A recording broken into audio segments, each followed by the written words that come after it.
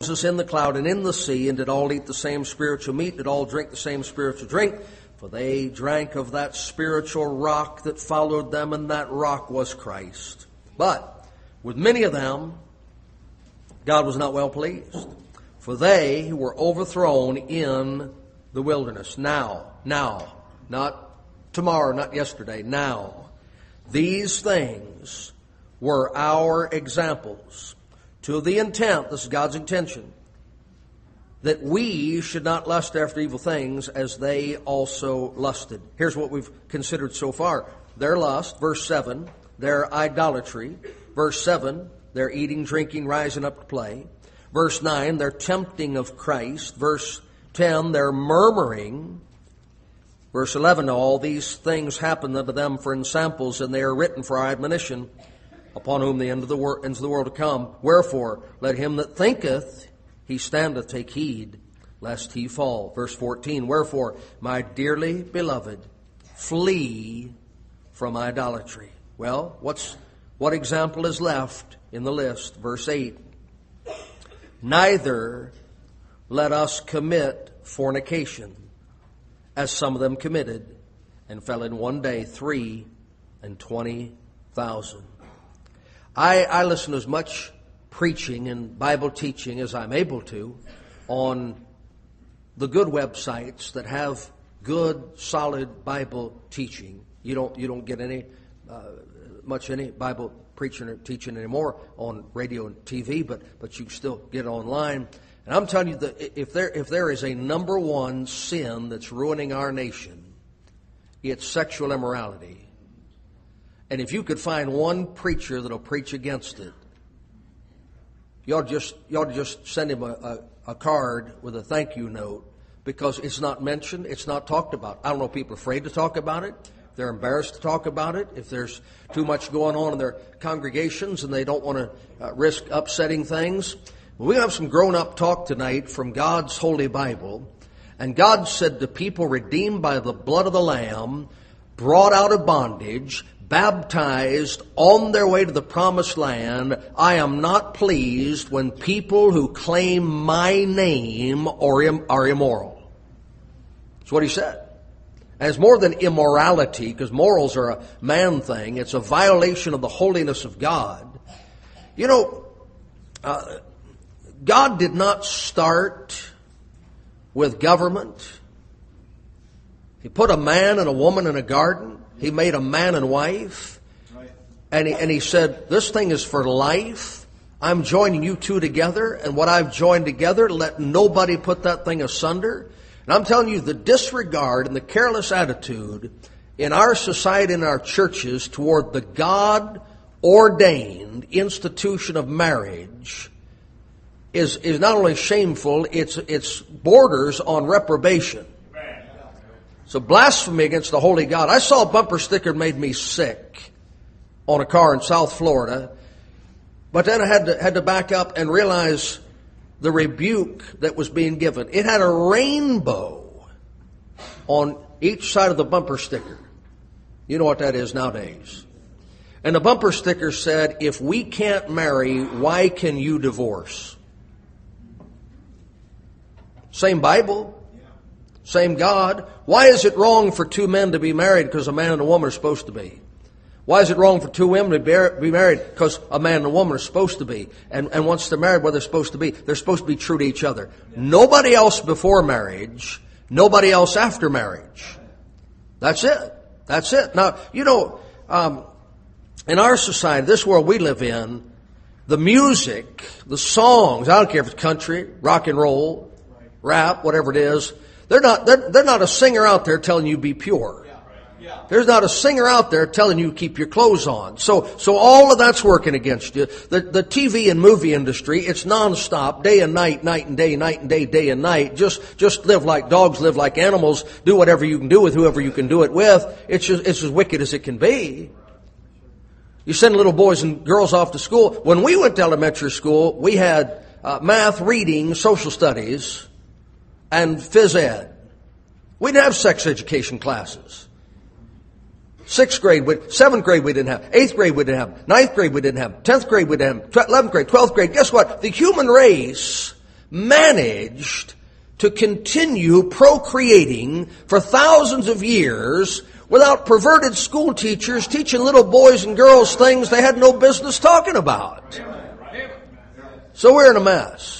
We're in a mess. And then the pulpits uh, are silent with regard to these things.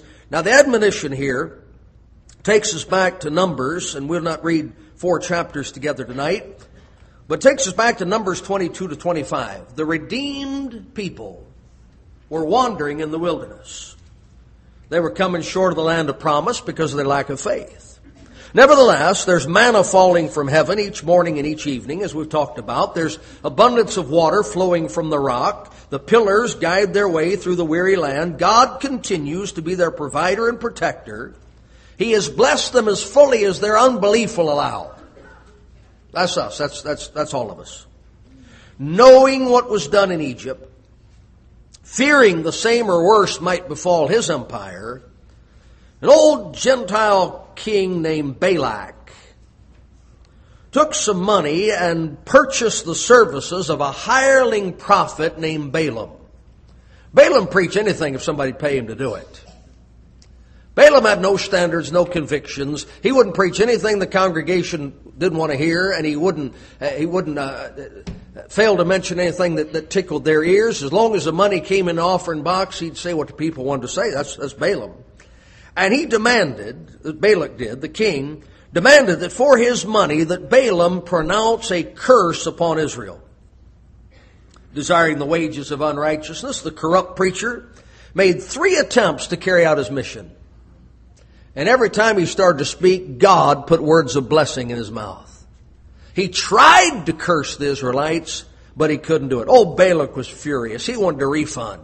Wanted his money back. Man, I paid you to preach on God loves everybody, and you got up there and preached on hellfire and damnation, and, and Balaam just, just all out of sorts, and I paid you to curse those people, you end up blessing them. He just didn't like it at all. When Balaam opened his mouth, to curse, God put a blessing in there. And, and so Balaam's a little frustrated too. He wanted the money.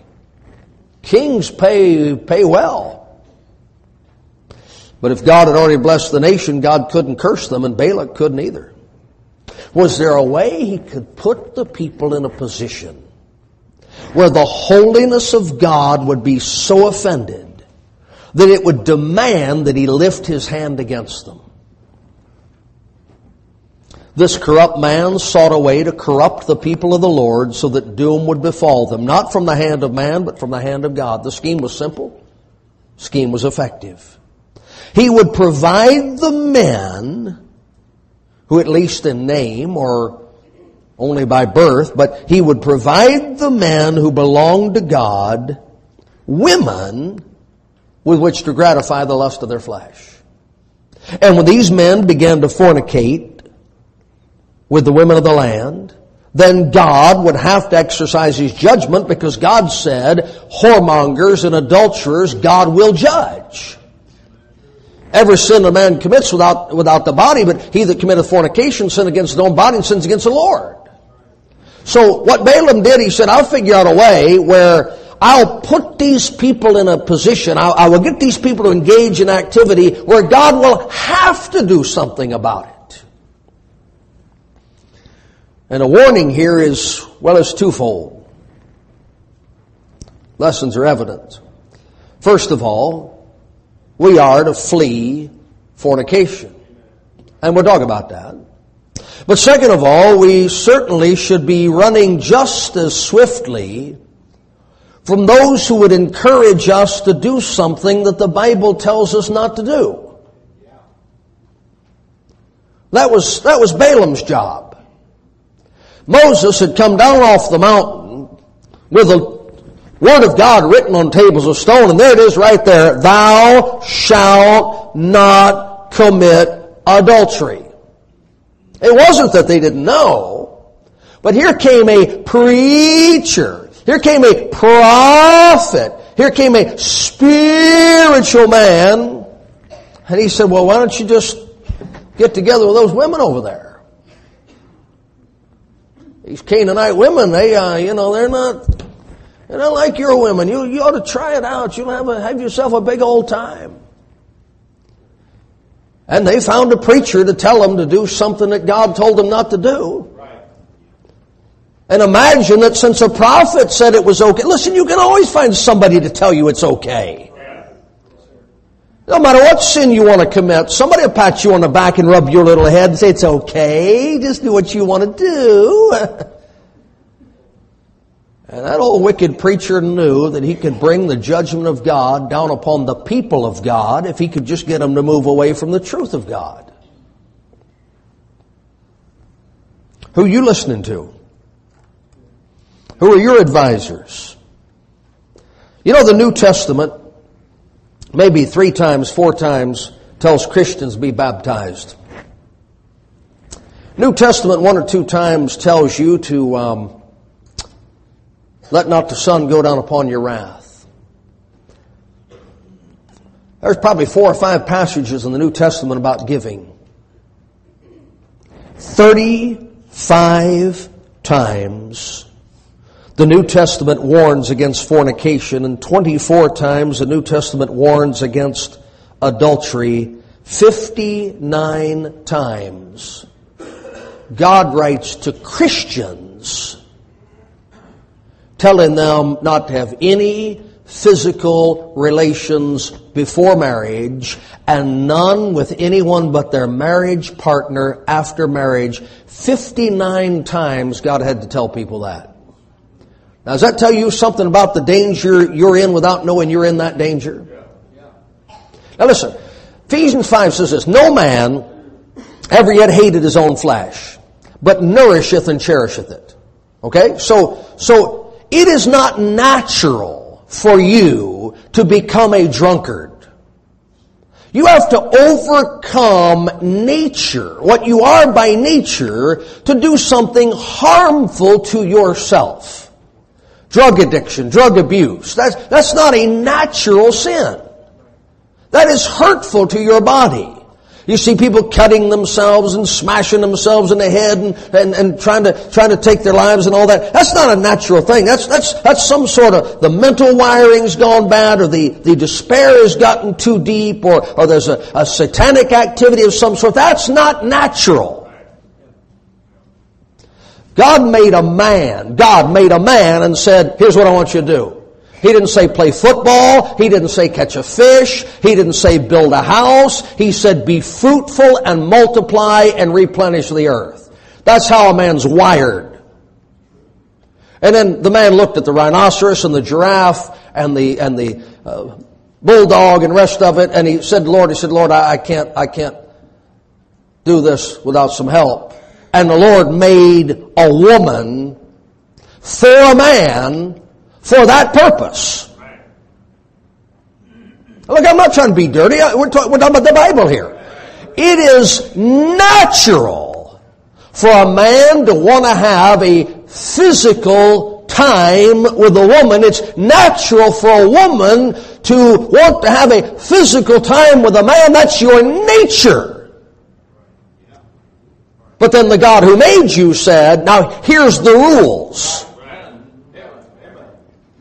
So what you got is you got everybody wasn't made with an appetite for alcohol. Everybody wasn't made with an appetite for booze. Everybody wasn't made with an appetite for, for pain or but God made man with that appetite, and God made a woman for that purpose. So you got to handle with care something that is natural. Young man, those dirty pictures on that computer are appealing to you because that's how God made you. But he said, don't look at those pictures. It is right for a man to want to have a woman in his arms. It is right for a woman to want to have her arms about a man, but God said, not if you're not married. That's the rules. And if you're married, just that one. Forever. That's the rules. Now, somebody out there is going to try just about every day of your life to tell you the rules have changed. The rules don't matter. The rules are outdated. The rules are, are made to hurt you. The rules are just there to, to mess up your life so you can't have any fun. Here's what God did. God put a, He put a fence here, He put a fence here, He put a fence here, He put a fence here. And uh, uh some of our guys went on a mission trip.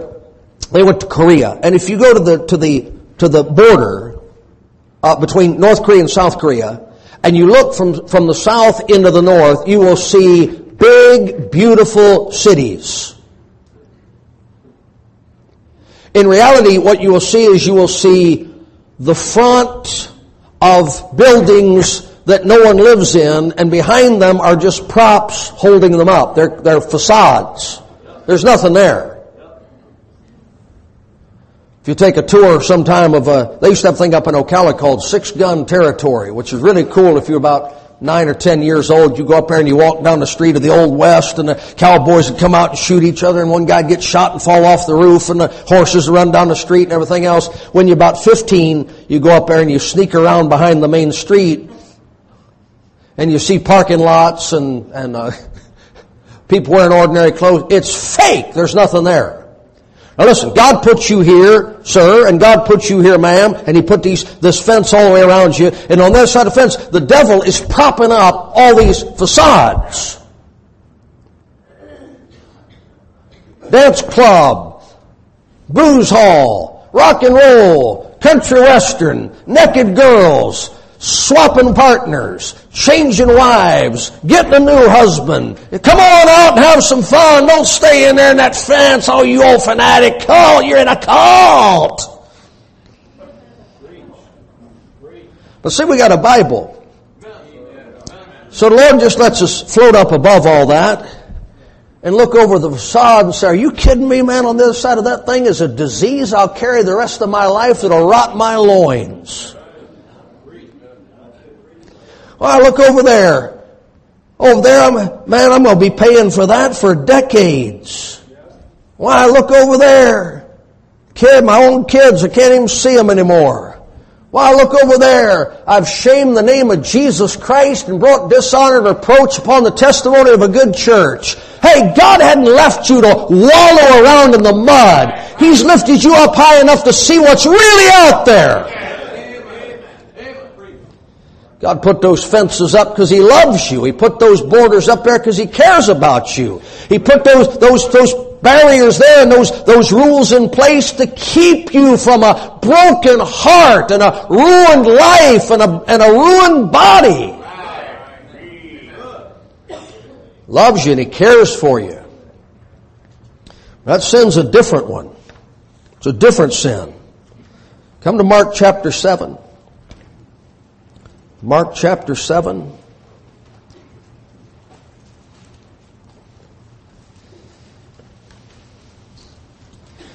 Mark chapter 7.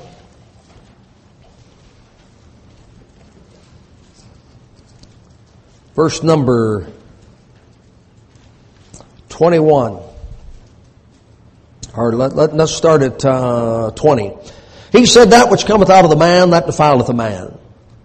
For from within, out of the heart of man, proceed evil thoughts, adulteries, fornications, murders, thefts, covetous, wickedness, deceit, lasciviousness, an evil eye, blasphemy, pride, foolishness. All these things come from within and defile the man. Now, you, are you human, human being tonight? Anybody? Human being. Let's, let's see, one, two, couple of you, rest of you don't want to commit. You human being, you know what God said? There's fornication in your heart. That's what He said. He said, there's adultery in your heart. That's what He said. Those things come out of the heart. That's a dangerous thing. What that means is, I've got to have something in my heart besides me, or I'll never agree that those fences are in the right place. I gotta have something in my heart that I trust more than my flesh, Or I will start trying to push that fence a little farther that way and move that fence a little farther that way. And I'll say, it's okay to fornicate if you're in love and it's okay to go to third base as long as you don't round third base and go all the way to home. It's, okay to, for a boy to be with a boy and a girl to be with a girl if, if that's how they feel. And you can't trust your heart. You got to trust the Word of God. God said you got fornication in your heart. God said you got adultery in your heart. He that trusteth his own heart is a fool. A young lady thinks her boyfriend is smarter than the Word of God is gonna, gonna end up sorry for it. A young man that thinks he's got more control over himself than the Bible says he has over himself is gonna make a fool out of himself. The married woman who thinks those scriptures don't apply to her, the married man who says, I'd never do that, you need to repent of your pride. You're not smarter than God. Believe it or not, you don't love yourself more than God loves you. God cares for you more than you care for yourself because you would do things to yourself that would hurt you. God would never do that to you. Put those fences there for a reason. Acts chapter 15. Acts chapter number 15.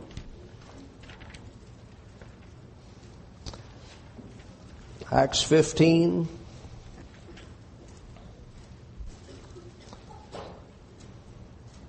Acts 15, verse number 19. Wherefore my sentence is that we trouble not them which from among the Gentiles are turned to God. Okay, so, so look, here, here's, the, here's the issue in Acts 15. Some Gentiles have trusted Jesus as their Savior. Praise the Lord. Born again, saved, washed in the blood, part of the body of Christ. And it's been determined that they're saved just like Jews are. Jews are saved, born again, washed in the blood, added to the body of Christ. So now we got saved Jews and saved Gentiles. Isn't that great? Eternal life on their way to heaven. Verse 20. But that we write unto them that they abstain from pollutions of idols and from fornication. Why would you have to write to save people and say, stay away from idols and don't fornicate, if getting saved was going to prevent you from doing those things? Well, I'm saved and I would never, you're wrong. Well, I trust the Lord and I don't think He'd ever let me. You're wrong. Don't trust yourself. Trust the Bible. Not a woman here can't ruin her marriage. Not a man here can't wreck his home. Not a young person here can end up swimming in trouble. So the Bible said. The Bible told me to tell you. The Bible told you to tell one another. It's right there. Write unto them. They got saved. They left their former religion. They got saved. They abandoned their prior beliefs. They got saved. They've trusted Jesus. Tell them not to fornicate. Why would you have to tell saved people that? Because your flesh didn't get saved.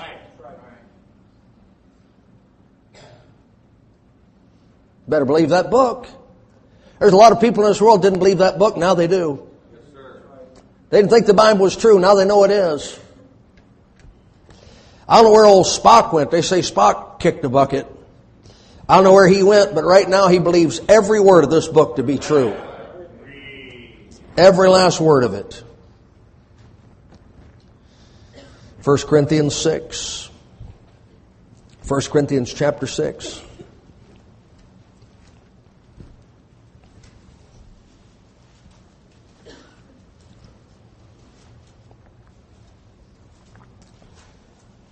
1 Corinthians 6.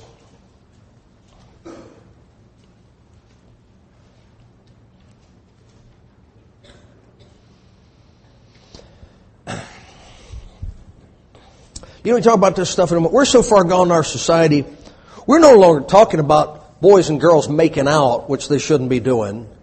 Now we're talking about whether or not it's okay for boys and boys to be in bed together. That's how far gone we are. The, the discussions we're having are, are like in the fourth basement. We've sunk that far. That's how we get here. I'll tell you how we got here. I didn't go to I didn't go to elementary school with a bunch of boys that were confused about the difference between a man and a woman. Because their fathers were men. And they got up and went to work and earned a living and they ran their house. And their mothers were women and they dressed like women and acted like women and they were effeminate and they were soft and they were gentle and the kids weren't all confused. Now you got men that don't work, and you got women, you know, knocking their husbands around. You got busted up home. Half of them don't even know who dad is. Of course they're confused. Boys hadn't seen a man. The girls hadn't seen a, a, a submissive, godly mother, and they're just all messed up. And then they're sitting in their room. Eight year old kid sitting in his room with a computer.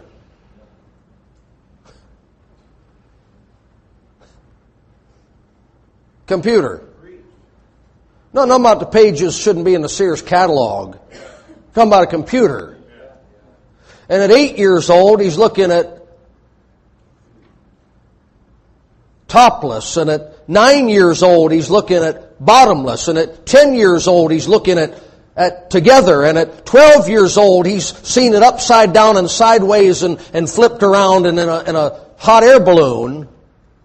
And by 13, there ain't nothing left that get, makes that kid go, wow. Now he's looking at boys. I'm not, don't get mad at me. I'm just telling you, this, this, this world is a sewer. And by 16, he's, he's I, I'm just telling you, it's not how you were born. It's a perverted society and the access to perversion and it's normal, boring because you've seen so much of it, it don't do anything for you anymore and dad's a wimp and mom's a lumberjack and the whole thing's in chaos. Amen. Wasn't one kid on our block was confused about what a man did and what a woman did. They don't know now. Hmm. Somebody got to talk this way. Workers raping 80 year old women in nursing homes. Are you kidding me? Somebody in Europe last week married their dog. Somebody over there in Singapore, or somewhere, Thailand, one of those places, three, three boys just got married. I can't believe. Well, listen, you, you knock the fences down. It's open range. God put some fences up. You don't like the fences where God put them, you tear those fences down, you don't get to put them back up. They're gone. You put enough lesbians on the Supreme Court, they'll let anybody get married.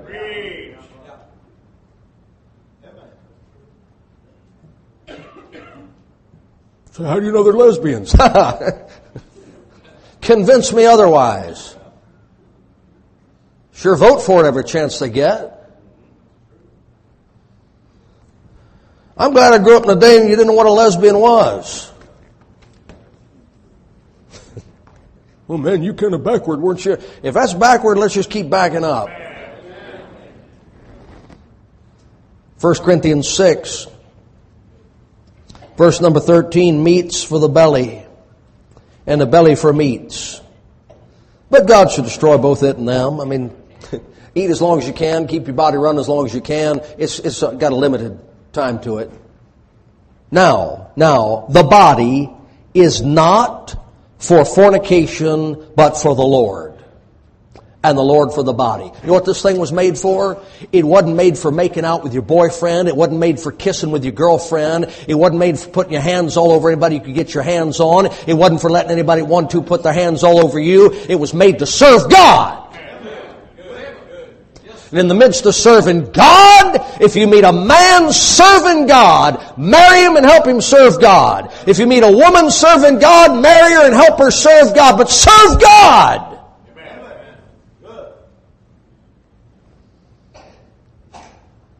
They can't even sell potato chips now without putting some, some harlot on there. Got to have a naked woman in the ad to sell a car. Got to have a naked woman in the ad to sell a sell toothpaste. Wash your hair with this, and all your clothes will fall off, and you'll look glamorous. No, you won't. You look just like you always did, with clean hair. Society's messed up, man. It's messed up. It's perverted. Your body wasn't made for sexual sin. It's outside those fences God put up, it's a sin. It was made to serve the Lord. 1 Corinthians 6, verse 18. Flee.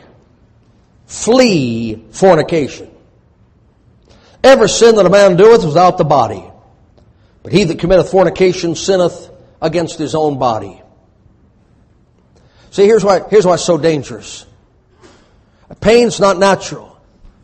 Affliction not natural. Abuse not natural. Had a bunch of boys out yesterday at, the, at our place working out there, and here's all you gotta do. Rattlesnake! And every one of them does like that. You know why they jump back? Because they know a rattlesnake will hurt them. Is that right? Walking over here, moving the bushes around. Here, here, big growling. Pit bull! Wild pit bull! Look out! And they all jump back, grab the hatchets and their axes, and they're ready to fight that thing. Here comes a girl by. Blouse down to here, shorts up to here, shaking that stuff all over the place. Run, boys! Look out!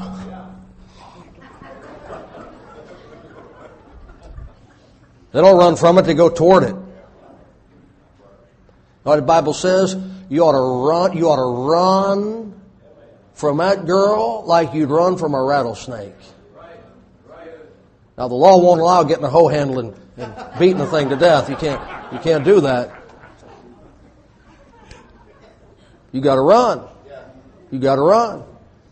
Girls, you walk down that street and somebody came down that street with a switchblade out, looked like a rough character, you'd head the other way. Somebody came out there with a, with a gun in their hand, snarling and their lip, you'd run the other way. You say, I'm not going down that road. But there's a boy over there, he, he drinks. There's a boy over there, he cusses. There's a boy over there, he listens to music, glorifying sexual sin. But the Bible said you ought to run from him like you'd run from a mugger. You ought to run from him like you'd run from a kidnapper. Amen. Shall take your life. That's what the Bible says. Flee fornication. Well, don't that sound silly in this society you live in? They've so completely knocked the fences down. When you talk like this, you just sound like somebody stepped out of a time machine. Whoa! Where am I? Man, you're in 2015. Well, I'm from the past. Wow, like dinosaurs? No, like 50 years ago. What those women doing? They're wearing that to church. I don't even want to know what they wear to school and to work. And what are they doing out there anyway? How come they're not home tending to the family? Where's dad? Oh, he's in there watching the fishing channel. Where are the kids? Oh, they're just running wild. Why don't dad straighten them out? Well, he's watching the fishing channel. Why don't mom straighten them out? Well, she's tired.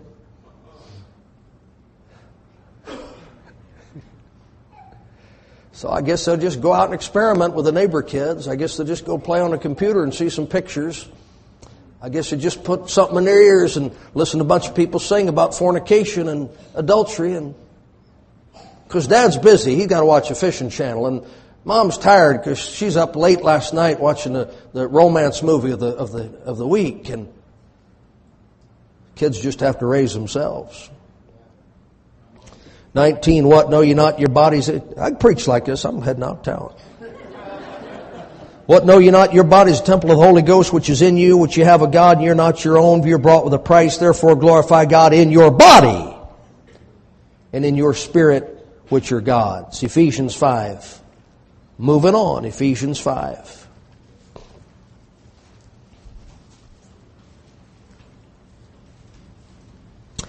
Verse 1 Be therefore followers of God as dear children and walk in love as Christ also hath loved us and hath given himself for us an offering and a sacrifice to God for sweet smelling savor, but fornication and all uncleanness or covetousness, let it not be once named among you as becometh saints.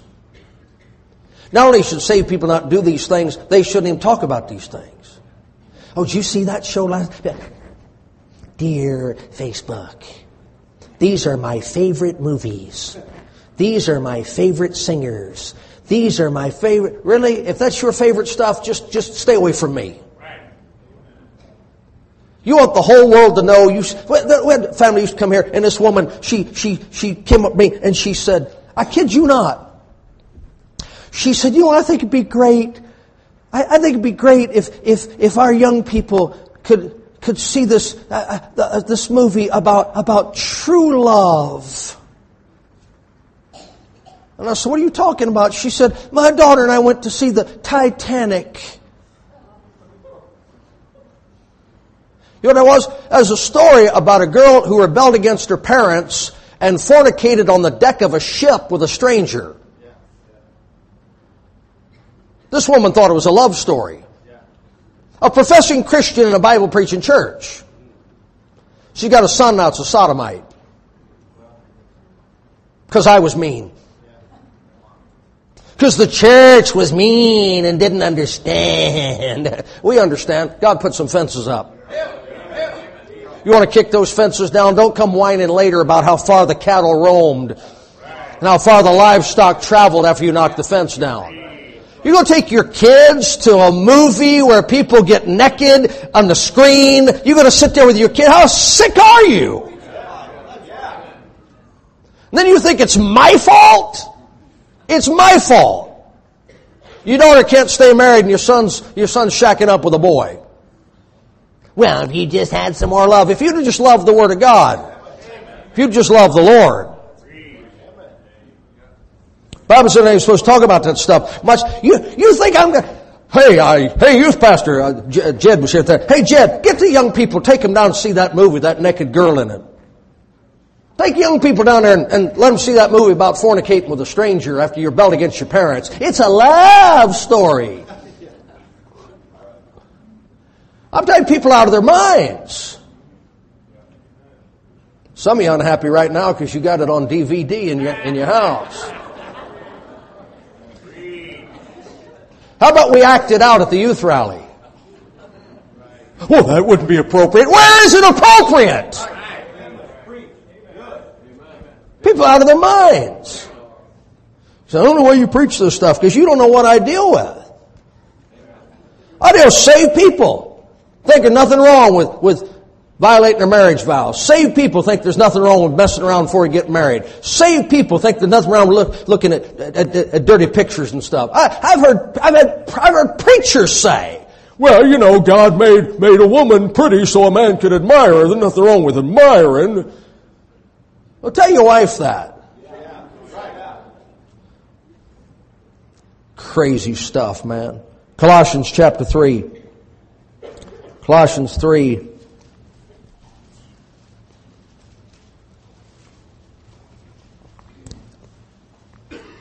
Go off to Christian school and have a Valentine's dance. The preacher's mean. He wouldn't sign the, the school consent form to send our kids to the Christian school. They got a Valentine's dance. I wouldn't sign that if you put a gun to my head. Well, you know how the boys and girls supposed to get together? They've been getting together for 6,000 years. They'll figure it out. They don't have to dance under the symbol of an unclean spirit.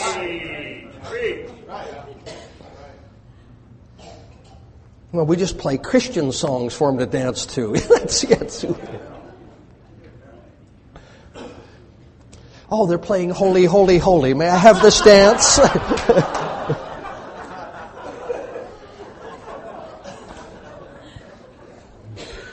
I was witness this Mormon boy on an airplane one time, and and uh, I said, "What do you like best about the about what they do for young people?" He said, "We have dances at the at the Mormon church."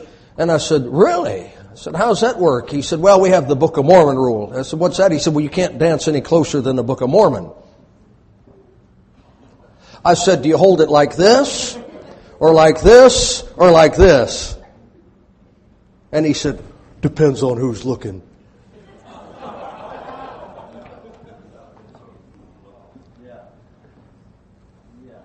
How about God? He looking? God looking? Well, what's wrong with dancing? Well,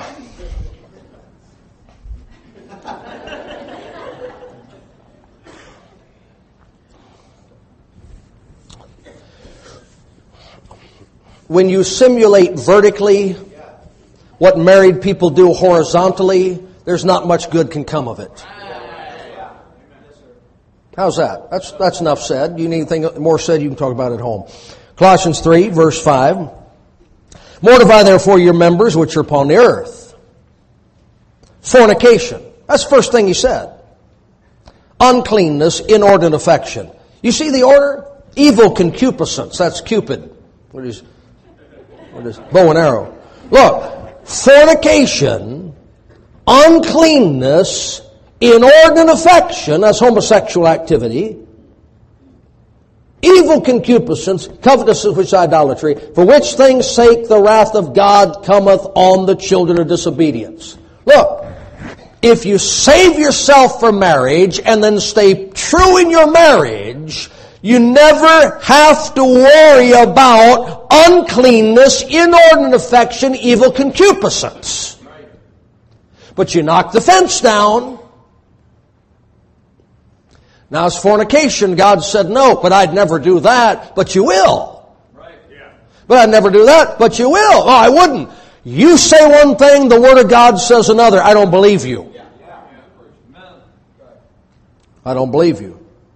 They got, you got people now, how, listen, 50, 60% of Americans say they're Christians.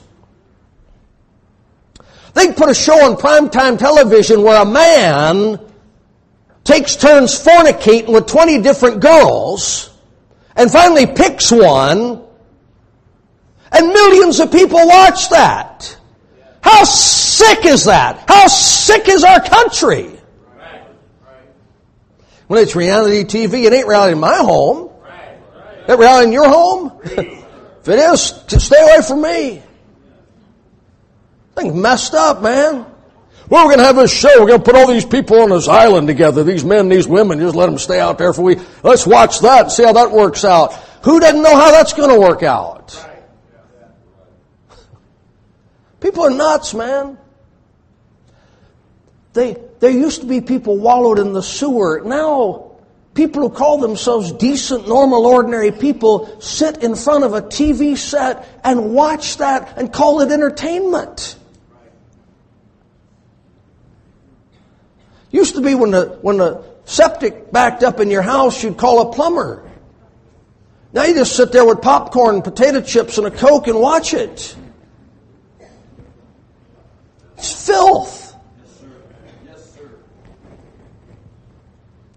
I only got a couple more verses. You, you, you can make it. 1 Thessalonians 4. I don't like this kind of preaching. You will if it keeps your daughter from getting pregnant. You will if it keeps your son from harming somebody. You will if it keeps your wife from running off. You will if it keeps your husband from being unfaithful. You appreciate it.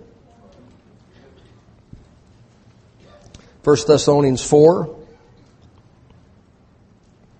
For this is the will of God. I just want to know what God's will is for my life. Okay.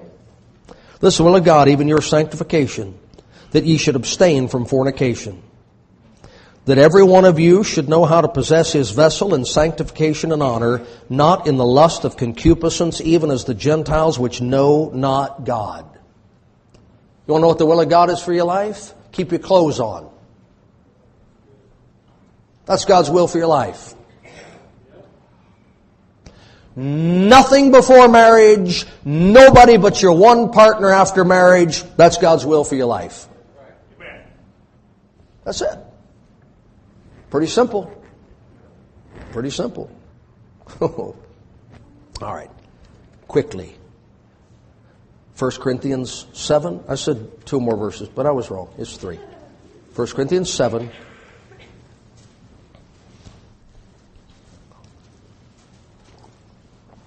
Boys and girls, you can now draw, scribble, make pictures with crayons, take a nap.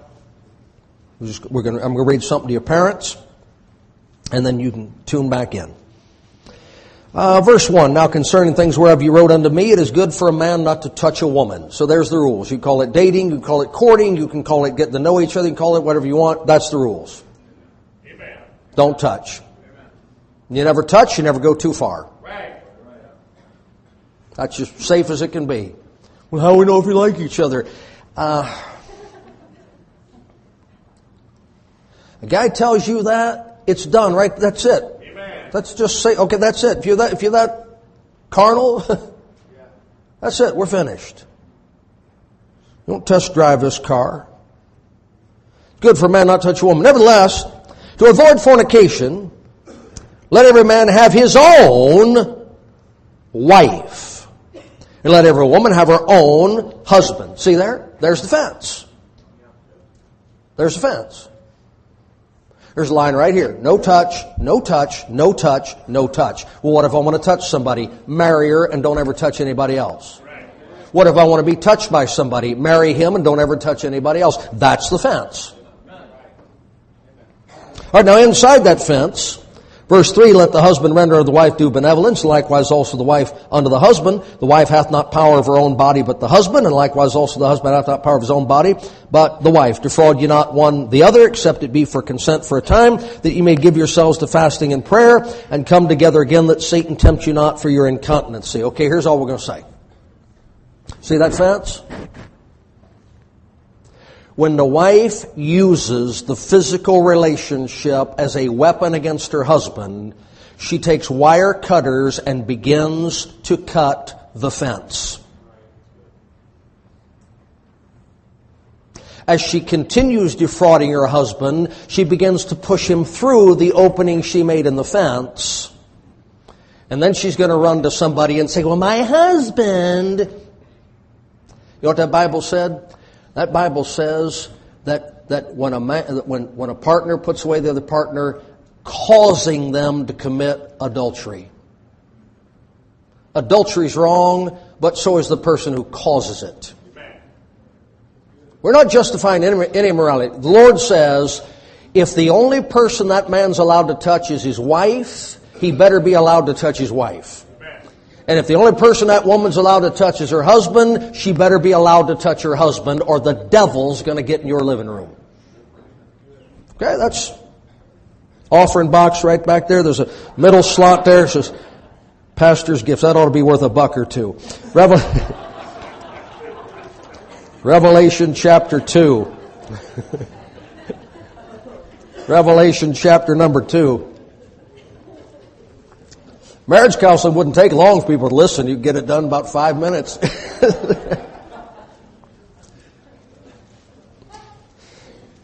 don't spend more than you make and don't take the wire cutters to the fence. It's all right. Revelation 2. But I have few things against thee, because thou hast there them that hold the doctrine of Balaam, who taught Balak to cast stumbling block before the children of Israel, to eat things sacrificed unto idols, and to commit fornication. You know what God had, God had against this church?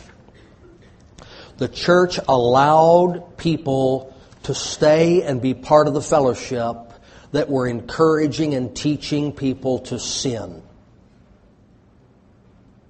If you're encouraging people to be immodest, you're, you are a sinner if you're encouraging people to go beyond the boundaries God established, you are a sinner. If you are encouraging people to be anything but 100% true to their marriage vows, you are a sinner just like Balaam. You are teaching people they can sin against God's commandments without consequence. And the Lord, the Lord rebuked a church for not rebuking the people who would use the church to teach immorality. That's what it said. All right. Now we know that men and women do not commit adultery by accident, but with planning and premeditation. We know that fornication is not a matter of chance, like slipping on a sidewalk or bumping your head. It's a matter of forethought and desire. Therefore, the question has to be asked, who are your teachers? When the Word of God speaks so clearly against sexual sins, how could anyone who claims the name of Christ believe such acts to be acceptable? Are we being taught by the words to the songs we listen to that sex outside the bounds of marriage is something less than a grave sin? Then get rid of that music. Oh, Are we being taught by the programs and movies we watch that we should engage in practices which Scripture denounces? Then quit watching them. Are oh, we keeping company with people whose lives illustrate their contempt for the rules set in place by God Almighty? Then get some better friends. The average professing Christian is surrounded by Balaam like influence, each repeating the lie that God will not judge the impure. Eventually, this false teaching, coupled with the lust of the flesh, causes the careless one to reject the things said by the Lord for their well being and embrace the doctrines of death. Balaam's voice is out there. We're trying to make sure it's not in here. The schools promote sex via education. You know why they teach math? Because they want you to do math. You know why they teach reading? Because they want you to read books. You know why they teach sex education? Figure it out. more government money for more illegitimate children, more kids in the schools so the schools can get more money from the taxpayers. Who's kidding who? The television and movies glorify carnal relations. Preachers are too cowardly to denounce sexual sins. They allow persons living together outside of marriage to hold membership in their churches. Shame on them. The internet provides every sin from the sewers of hell at the touch of a button. Soon the conscience is dulled, then seared, the flesh prevails, and another man or woman places themselves under the promised judgment of God. Whatever your age is, the command is the same. Flee youthful lusts. Flee youthful lusts. So I could never, careful, careful. I could never do that. What did the Bible say in the passage this morning? Murmur. You ever complain? You ever murmur? Well, the God that said, don't do the one, said right next to it, don't do the other. Believe God. Don't trust yourself, trust the Bible. Young ladies, save all of yourself for one man for your lifetime. Young man, save all of yourself for one woman for one lifetime. And allow me to say what I've said so often with so little result. You are better off single and wishing you were married than married and wishing you were single. Serve God with all your heart. I just got to get married. No, you just got to serve Jesus. If you can find somebody who'll help you serve Jesus, go for it. You're going to have to give up serving Jesus to get married. Don't get anywhere near it. You married? Serve the Lord together. Well, I'll, I'll, I'll reload. I'll, I'll try again. I, no, God put the fence up. You break that fence down, there's trouble out there. Trust God. He loves you, He cares for you. He put these rules in place because they're right. They're right rules. They're healthy rules. They're happy rules. And, and we'd all be better off to obey the word of the Lord. We're going to pray. We're going to have a song of invitation. After the song of invitation, Brother David take charge of the service, and, and uh, we'll have some congregational singing, special music, um, special offering for the pastor, all that. All,